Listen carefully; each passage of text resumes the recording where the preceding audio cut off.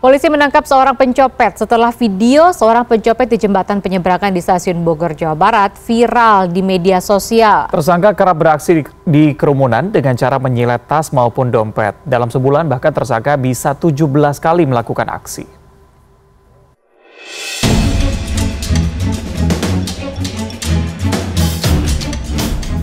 Rekaman video yang viral di media sosial menunjukkan seorang pria bertopi mengambil telepon genggam dari tas orang penumpang kereta komuter saat menaiki tangga jembatan penyeberangan orang di area stasiun Bogor, Jawa Barat pekan lalu.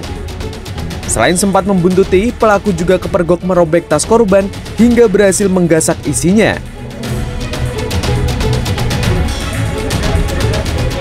Akibat perbuatannya, pelaku berhasil diringkus polisi Senin lalu setelah aksinya viral di jagat maya. Bahkan dari hasil olah TKP di lokasi pada Kamis siang, pelaku menunjukkan radius tongkrongan sebelum memantau mangsanya. Kepada polisi, pria yang diketahui berinisial YZ alias Bajing ini mengaku mampu beraksi selama 17 kali dalam sebulan. Aksinya makin mulus jika banyaknya kerumunan sehingga dengan leluasa pelaku menyilet tas maupun dompet.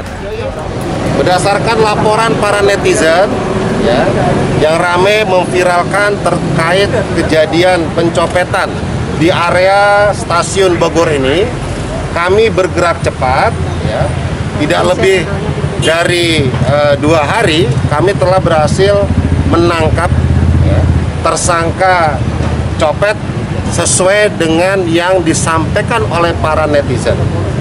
Sehingga pada tanggal pada hari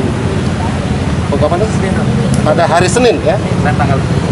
Pada hari Senin kami telah berhasil menangkap saudara ini DZ ya alias Bajing.